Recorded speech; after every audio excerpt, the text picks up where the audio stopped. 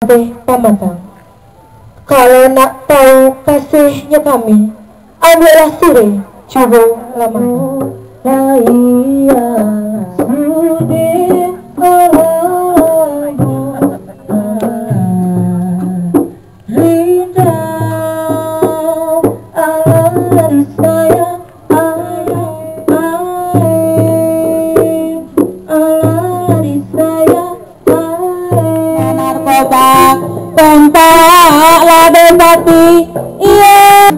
kajo tempat namudo lah baju kami numpang oh iya ika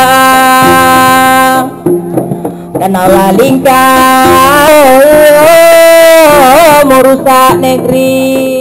54 tahun 2015 sekaligus upacara pembukaan Jambore Cabang Kerinci tahun 2000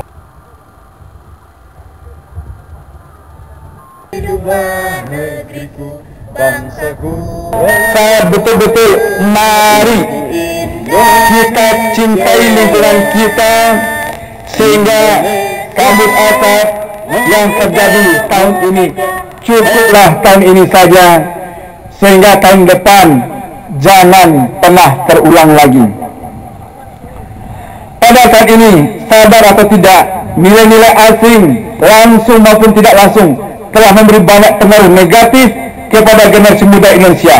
Pada tahun ini, suka atau tidak, harus diakui banyak generasi muda yang mulai kurang peduli terhadap masalah-masalah kebangsaan. Rasa cinta terhadap tanah air serta kesediaan untuk membela negara tampak semakin rendah.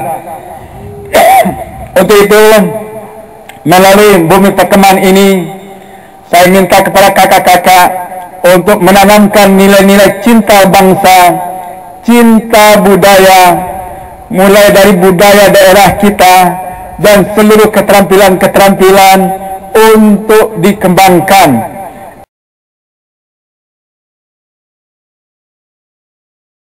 Kerinci Ilir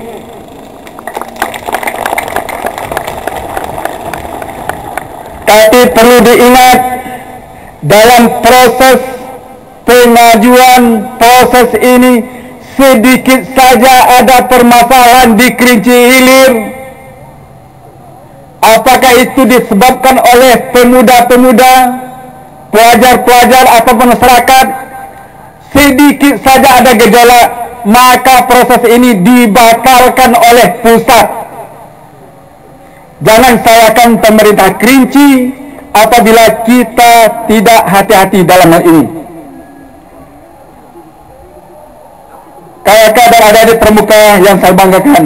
Untuk itu saya mengharapkan para peserta untuk mengikuti dengan sungguh-sungguh.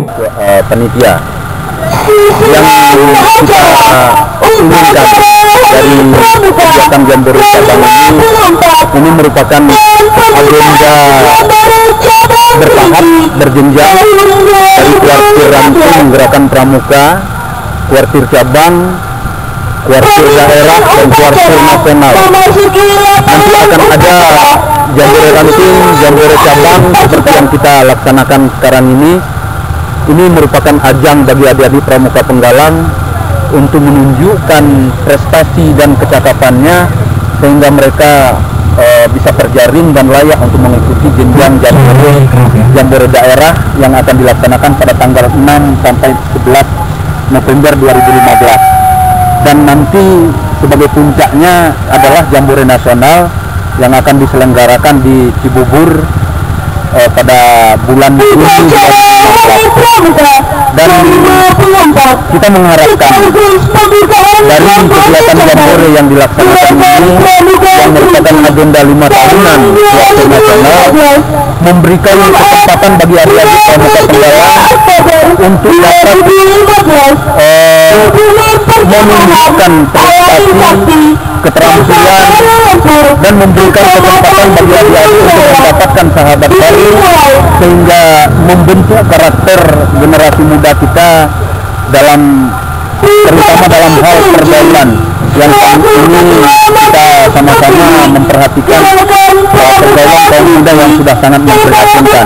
Maka saya sebagai sekretaris panitia uh, menegaskan bahwa gerakan pramuka akan tetap konsentrasi untuk membantu pemerintah dalam melaksanakan dan membentuk karakter.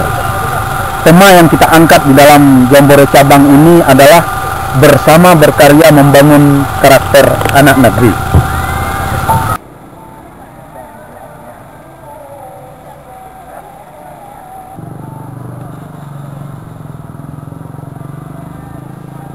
Pak pernah lupa tentang pramuka Pak? Pramuka saat ini sangat berharga bagi untuk kaula muda dan pendidikan untuk generasi muda karena pramuka adalah merupakan eskul yang masuk dalam kurikulum 2013 dan ini merupakan momen untuk pembinaan pada generasi muda menjauhi daripada narkoba, obat terlarang dan tawuran.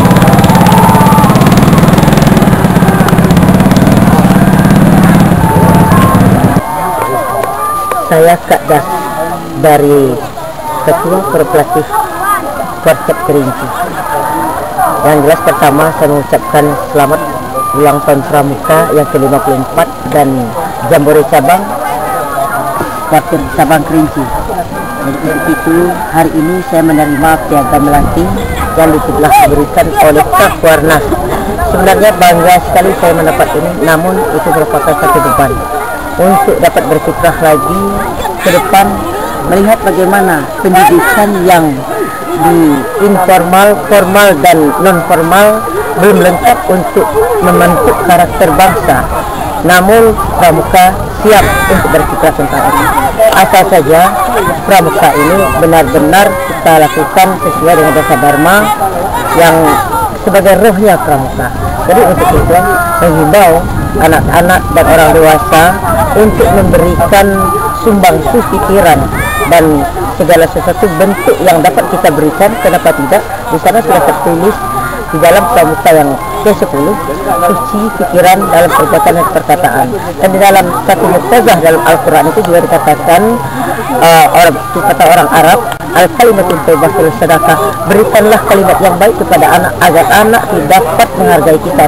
Seutuhnya tetapi apabila kita dulu tetap memukul dengan anak maka anak tidak akan bisa memberikan sesuatu untuk kita sebagai impaknya uh, sebagai feedbacknya tetapi apabila kita memukul kita tukar dengan merangkul menyakiti kita tukar dengan mengobati niscaya insya Allah pramuka dapat berkeras demikian.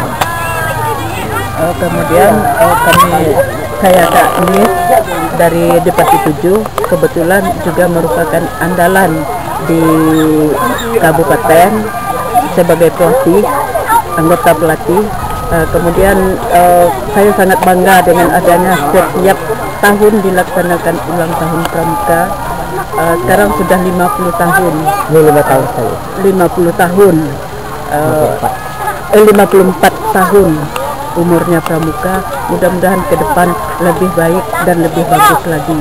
Kemudian di kecamatan kami juga akan mengusahakan terutama sekali di kecamatan di Tipi hmm. Kemudian uh, beberapa tahun ini sebagai kekeluaran itu mungkin banyak yang belum mengetahui bagaimana pramuka itu. Tapi kalau untuk tahun ini ya Kak Nisha pramuka di kecamatan di Peti Tujuh Kuartir Ranti Peti Tujuh yang pertama Pak uh, Dharma Samsuri beliau sangat dapat untuk pramuka lebih maju ke depannya jadi untuk itu uh, benar-benar kita berdua ya Kak Nisha yang notabene di dalam hal ini kita berada di Peti Tujuh sebagai kuartir ranting di Peti Tujuh. Kena sebagai the real of woodnya Ustaz